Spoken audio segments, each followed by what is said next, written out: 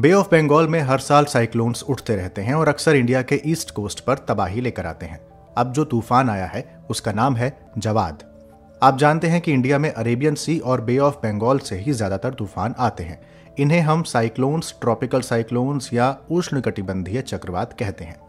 Tropical cyclones की जो उत्पत्ति होती है, वो केवल पानी पर होती है, यानी जल पर होती है, और उस पानी का टेम्परेचर आमतौर पर 27 डिग्री से ज़्यादा होना चाहिए। अगर आप हालिया रिपोर्ट्स पढ़ेंगे तो पाएँगे कि बे ऑफ़ बंगाल और अरेबियन सी का टेम्परेचर इस बार सामान्य से अधिक रहा है। इसलिए बे ऑफ़ बंगाल या अरेबियन सी में प्रेशर जोन बन रहा है, जो धीरे धीरे साइक्लोन्स में बदलने लगता है।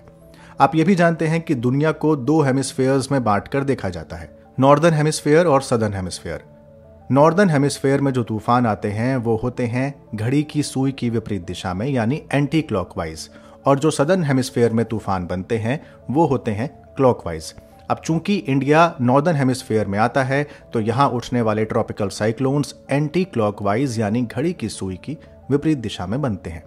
इस बार जो चक्रवाती तूफ़ान है, उसे जवाद नाम दिया गया है। जवाद यानी लिबरल, उदार। वैसे भी आप पढ़ रहे होंगे, देख रहे होंगे कि ये उतना खतरनाक नहीं है जितना इससे पहले के तूफ़ान हुआ करते थे। ये नाम सऊदी अरेबिया द्वारा रखा गया है।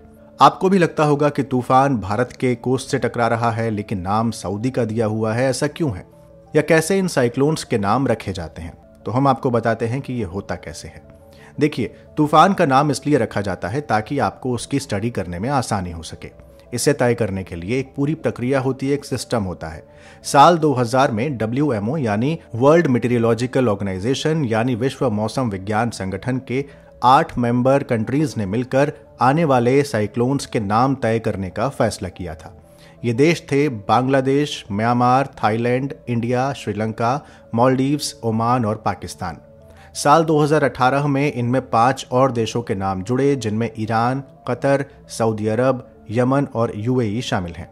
अब ये तेरह देश तेरह तेरह नामों की एक लिस्ट बनाकर रीजनल मीटेरोलॉजिकल सेंटर्स को भेजते हैं। जैसे ही साइक्लोन्स आने की सिचुएशन बनती है तो लिस्ट से अल्फाबेटिकल ऑर्डर यानी अंग्रेज़ी के अल्फ़ाबेट के हिसाब से देखा जाता है कि अब किस देश की बारी है।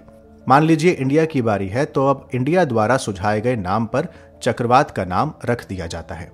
ये लिस्ट पहले से तैयार होती है। इस काम को साल 2004 से रीजनल स्पेशलाइज्ड मेटेरोलॉजिकल सेंटर यानी RSMC द्वारा किया जाता है। पूरी दुनिया में ऐसा करने वाले कई सारे मौसम विज्ञान केंद्र हैं, जिनमें से इंडिया का इंडियन मीटरोलॉजिकल डिपार्टमेंट यानी भारत का मौसम विज्ञान केंद्र भी है, जो न्यू दिल्ली में है।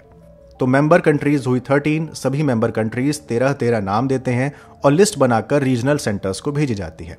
तो उसी के आधार पर आईएमडी ने इस साल 169 नामों की सूची तैयार की, यानी तेरह देश, तेरह नाम thirteen into thirteen one sixty nine तो वन सिक्सटी नाइन नाम की एक सूची तैयार की, जिनमें से नाम लिए जाते हैं। इस नई लिस्ट में से पहला नाम तूफ़ान निसर्ग को दिया गया था, जो अम्फन के बाद आया था। अब निसर्ग बांग्लादेश ने सुझाया था। इसके बाद सोमालिया के तट से जो तूफ़ान टकराया, उसे भारत ने नाम दिया था गति। उसके बाद जो तूफ़ान आया, वो ईरान का दिया था निवार। फिर इसी साल सितंबर में आया गुलाब साइक्लोन पाकिस्तान ने दिया था। उम्मीद है आप सदस्य देशों का अंग्रेज़ी में अल्फ़ाबेटिकल ऑर्डर समझ पा रहे होंगे। बांग्लादेश का बी सबसे पहले है तो पहला नाम उसका, फिर आई यानी इंडिया देन आई यानी ईरान, फिर पी यानी पाकिस्तान और अब इसी क्रम में आया है सऊदी अरब। नाम है जवाद मतलब है उदार यानी लिबरल वैसे इससे पहले 1953 में मायामी नेशनल हरिकेन सेंटर और वर्ल्ड मेटेरोलॉजिकल ऑर्गेनाइजेशन तूफानों और ट्रॉपिकल साइक्लोन्स के नाम रखते थे। यहाँ खास बात यह है कि इंडियन ओशन में उठने वाले साइक्लोन्स का नाम रखते समय खासा ख्याल रखा जाता है क्योंकि इस एरिया की जो जातीय विविधता है, वो बहुत ज़्यादा है।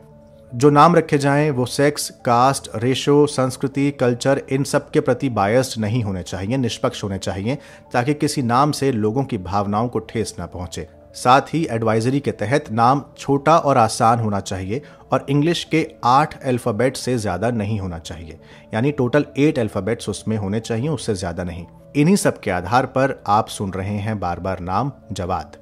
वैसे आप जानते होंगे, लेकिन फिर भी मैं आपको बता दूँ कि जो ट्रॉपिकल साइक्लोन्स होते हैं, जैसा कि मैंने पहले बताया, उनकी उत्पत्ति यानी उनका उद्भव जल पर होता है, पानी पर होता है और लैंड पर आते आते ये नष्ट हो जाते हैं, ख़त्म हो जाते हैं। इनकी जो वेलोसिटी होती है, वायु का जो वेग होता है बहुत तेज़ होता है और बहुत ज़्यादा बारिश करते हैं और जल्दी ही ख़त्म भी हो जाते हैं। और ये ट्रॉपिकल साइक्लोन्स ट्रेड विंड्स यानी व्यापारिक पवनों की दिशा में ईस्ट टू वेस्ट बहते हैं। अगर आप एक्स्ट्रा ट्रॉपिकल साइक्लोन्स या टेम्परेट साइक्लोन्स को देखेंगे तो वो उल्टा है, यानी वो वेस्ट टू ईस्ट वेस्टर्लीज की दिशा में बहते हैं। तो ये थी जानकारी कि कैसे रखा जाता है किसी साइक्लोन ट्रॉपिकल साइक्लोन का नाम। आपको ये प्रोग्राम कैसा लगा? आपको समझ आया या नहीं, इसकी जानकारी मुझे कमेंट बॉक्स में ज़रूर दें। आप जानते हैं कि सिविल डेली के यूट्यूब चैनल पर अलग अलग समय पर अलग अलग प्रोग्राम चल रहे हैं तो उन्हें आप सुबह से शाम तक यहाँ देख सकते हैं।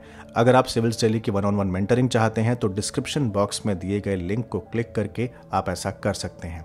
अगर आपने अब तक ये यूट्यूब चैनल सब्सक्राइब नहीं किया है तो सिविल्स डेली का यूट्यूब चैनल सब्सक्राइब करना और नोटिफिकेशन बेल को ऑन रखना ना भूलें। मेरा नाम है अंजुम शर्मा आप अपना बहुत ख्याल रखिए पढ़ते रहिए। शुक्रिया।